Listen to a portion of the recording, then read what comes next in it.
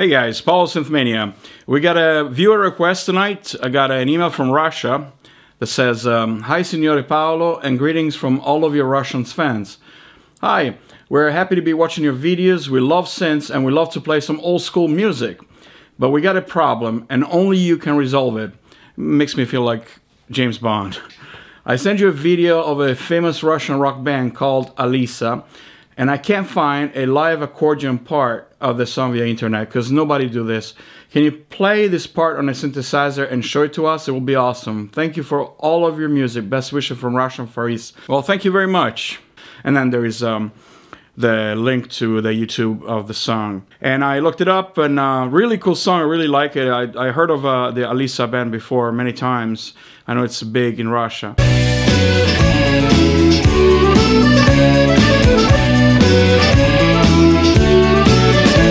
Мое солнце горит на стыке ветров Границы семи холмов Мое небо дождем опрокинули в ночь Тени пяти углов and um, really cool song. I I don't speak Russian, so I'm sorry I'm gonna butcher the the title, but it's um, something like um, Trasa E95. Sorry, guys.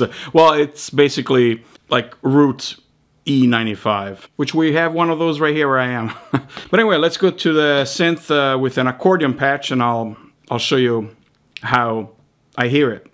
All right, guys. Here we have an accordion sound on uh, Cubase.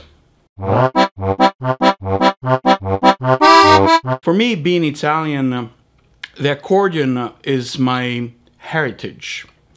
It's my ethos. It's my raison d'etre. It's my animal spirit. Well, that and um, bucatini, ravioli, tiramisu, and apparently jumping on mushrooms and turtles while collecting coins. But let's go back to the Russian song. All right, I'm gonna play the part from start to finish and then I'll uh, break it down for you.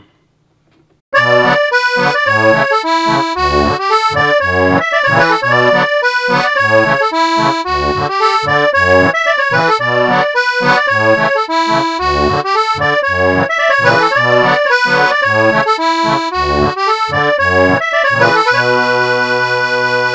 right, just in case um, you wanted to know also the, the chords, I mean, there are several parts of uh, accordion that are a little bit different in this song, but this is, I think, what you're asking. And the chords are basically B minor, A, D, and then it goes to the F sharp, and then it goes, um, again, just changes a little bit, B minor, A, D, and come back to A.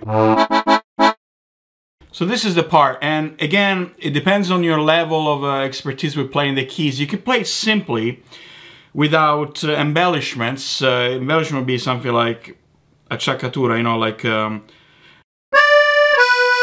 like instead of playing, they will play like. A. But basically the notes are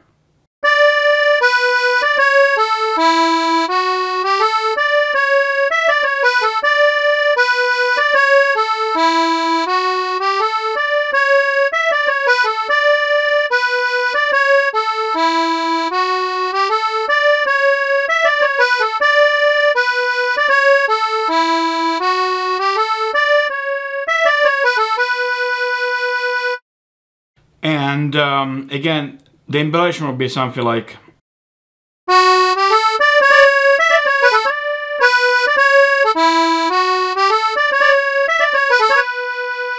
this sort of embellishments.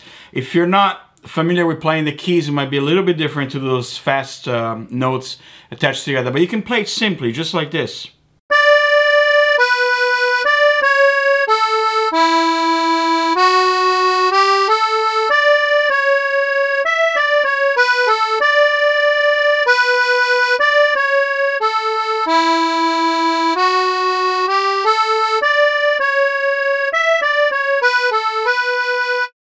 And it's important that you keep the fingering the right way. If not, you're gonna get stuck.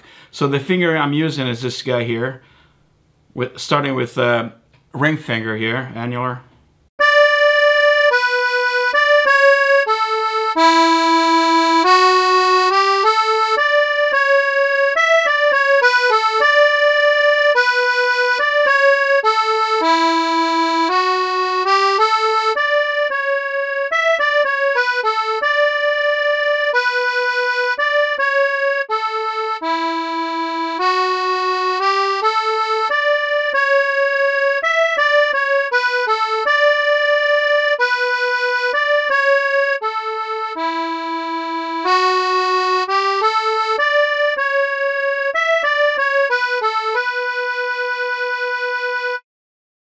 All right, I hope this helps you. Good luck playing the song and have fun playing music. That's what matters. And um, have fun playing the vintage stuff, as you call it, or the old stuff. Uh, to me, I looked it up, and this song is from 1997. To me, it seems yesterday. it doesn't seem long ago, but it's 22 years ago. So yeah, it's it be consider. It's like when I was in the 80s, um, in the early 80s or mid 80s, trying to redo the songs by The Doors or you know Emerson, Lake and Palmer. I thought those were vintage, and um, now history repeats itself. So thanks guys for watching. I hope it helps. And um, please don't inundate me with uh, requests to to help with song because i already got a lot of emails so i'll, I'll help when i can but um unfortunately i would love to but i can't respond to all unfortunately. So thanks for watching guys. I'll see you in the next video